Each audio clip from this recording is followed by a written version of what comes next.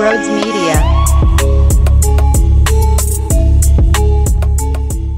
Joel was so damn ruthless out there. He had to chase down block when James Harden thought he had an easy two. And the 7 2 man, this 7 2 gentleman, is running down the floor like he's Jason Kelce, making big blocks downfield to open up gaps for Miles Sanders. That's exactly what it reminded me of. I had to watch that play on the loop like 10,000 times. The fact that this 7 foot two man is doing this stuff doesn't make any sense. And that's why I'm so in awe every time, one, I watch him, and every time, two, there's morons out there who believe the best thing for this franchise is to get rid of this talent. I was on the Fanatic filling in for the John Kincade show this week early in the morning, and then I had one night sprinkled in of filling in for Devon Givens.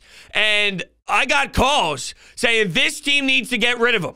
You'll never win with the center. What are you doing? How dumb can you be? How stupid are you? Where are your brain cells? I just have to do the good old hang up. The hell are you talking about? How do you not see this? It all starts with him. 34 points. He had the step back jumper at the end of the first half, which did go off the glass. But to be fair, we know that he has that in his repertoire. Uh, he was passing it out of pressure. His first quarter was ridiculous. How about the fact this is my favorite when he's running the floor and then in rhythm, all in one motion, he collects and gathers the basketball and shoots a smooth J over a defender that's challenging him but they have no shot in hell of actually blocking it or doing any damage defensively because Joel's all wet from that spot on the floor, hitting threes as well. I mean, come on now. Come on now. And I did see this reaction because the last we spoke, we talked about Doc Rivers and Keith Pompey. And I absolutely despised everything that Doc Rivers did in that moment.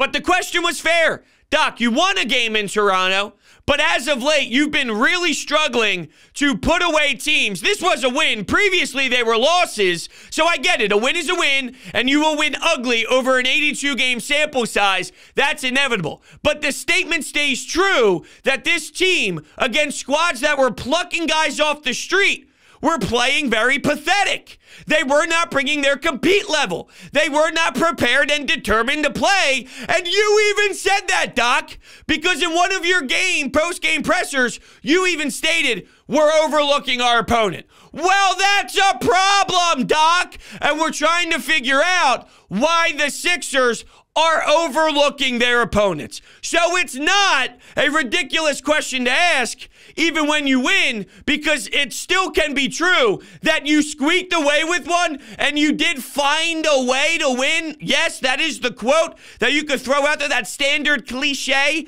They found a way.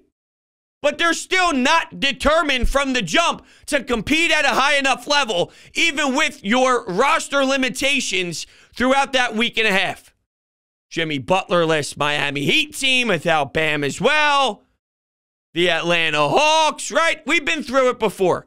So I bring that up to you because it plays a role in how I feel about the outcome of this game.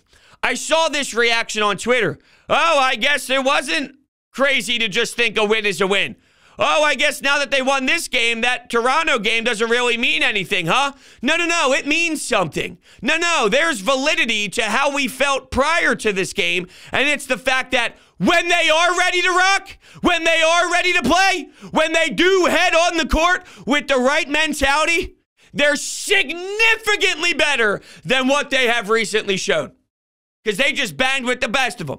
And they just went out there and put pure heart and passion on the floor. And whether they would have won or lost this game, just the fact that they were hanging in there with such a special team with special talent, like that tells me because Doc Rivers doesn't doesn't care about context. It doesn't matter to him. You could play like shit and win the game and he's got a big smile on his face and he's moving on to the next one. Where to me it's about the process of the result. So why did you get the result that you did? Yeah, we won, but we, if we continue to do this, if we continue to play that way, that result won't be there more times than not. If you play the same way you played in Toronto, you lose more than you win. So if they would have lost this game against Brooklyn, but they played a certain way, if you play that way more times than not, you will beat the teams on the other side. Do you understand what I'm saying? So it does matter how it looks, it does matter the context, and it does matter what's happening out there. You can't just pretend the result is the only thing because then you're being fooled. You need all the data. You need all the information. And what I witnessed was a team with the proper approach,